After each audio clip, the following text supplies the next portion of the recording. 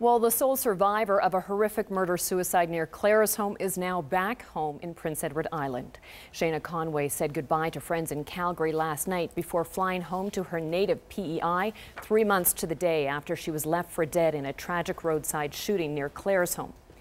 Now, last December, the 21 year old was driving her friends Mitch McLean and Tanner Craswell to Calgary to fly home for Christmas in PEI. Her friend Tabitha Steppel went along for the ride. Police say Steppel's ex boyfriend, Derek Jensen, forced their vehicle off the road. He shot all four of them before turning the gun on himself. Conway was the only survivor. She was shot in the thigh, stomach, and shoulder that left her partially paralyzed. Conway told reporters in Charlottetown last night movement is returning to her limbs. She was overwhelmed and extremely grateful, calling all the support that she's received just amazing, and she can't thank anybody enough. What do you even say? There's no words. Conway still requires a cane to walk.